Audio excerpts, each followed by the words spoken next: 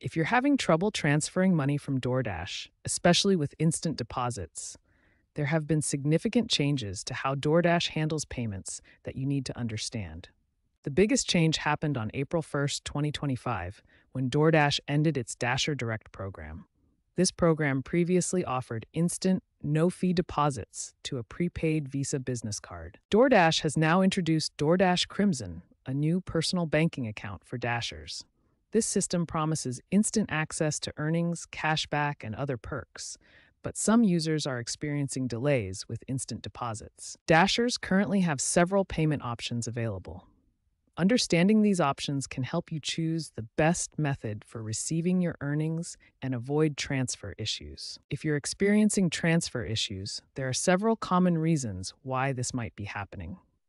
These issues often stem from the recent system changes or basic account setup problems. One of the most important steps you can take is ensuring your Dasher app is updated to the latest version. Many transfer issues are resolved simply by updating the app as DoorDash frequently releases fixes for payment related problems. The first step in troubleshooting DoorDash transfer issues is to verify your bank account information. Double check that your account and routing numbers are entered correctly in the Dasher app. If you are using Dasher Direct, you need to migrate to DoorDash Crimson or set up another payment method. Dasher Direct ended on April 1st, 2025, and has been replaced by the new Crimson banking system.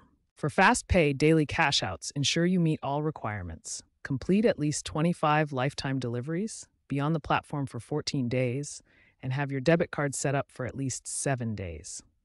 Fast pay costs $1.99 and can only be used once per day.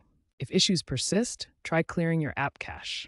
On Android, go to Settings, then Apps and Notifications. Find the DoorDash Dasher app, tap Storage, and clear cache.